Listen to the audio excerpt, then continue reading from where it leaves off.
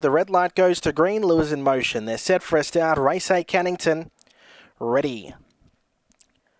Racing, Pyroclasm in midfield showing speed. Mad Steel coming across, good as hell. The fence, Black Trinity, then followed by Prom Queen Fun. Pyroclasm gets to second.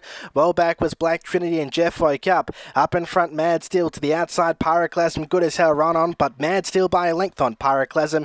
Third, good as hell from Found the Break, Prom Queen Fun, then followed by Black Trinity. Well back was Jeff woke up and Marg's Dynasty. The time 1601.